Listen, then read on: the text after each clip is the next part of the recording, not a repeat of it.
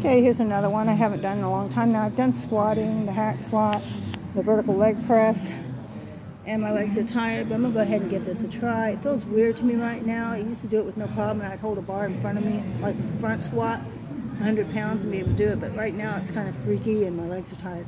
But I'm gonna give it a go and start throwing this in. It's different. I haven't done it in three years. I don't even remember what it's called.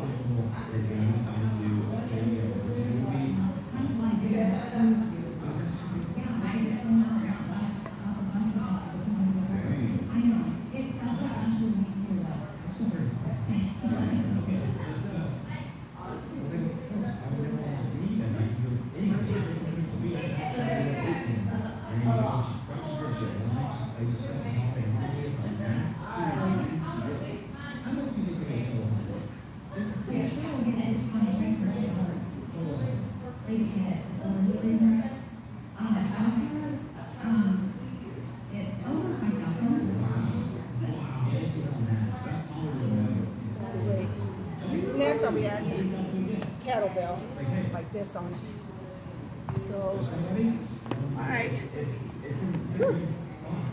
My butt's gonna be sore tomorrow.